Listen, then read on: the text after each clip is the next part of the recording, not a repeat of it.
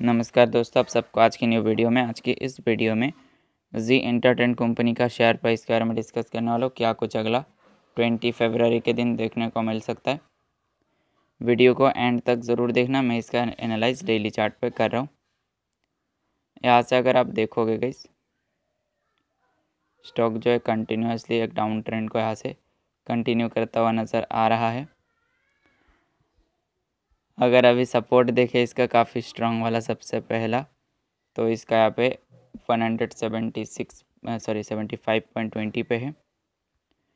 अगला काफ़ी नीचे है, अगला सपोर्ट इसका जो देखने को मिल रहा है वो है one hundred fifty nine point ten पे। आप देखें अगर इसका रेजिस्टेंस जो कि तकरीबन देखा जाए तो one hundred eighty six point seventy पे देखने को मिल रहा है। यहाँ से देखा जाए तो काफ़ी गिरावट दिखाया। फिर ऊपर गया, ज़्यादा चांस है गई यहाँ से स्टॉक जो है, वो और भी काफ़ी गिरता हुआ देखने को मिलने का आगे।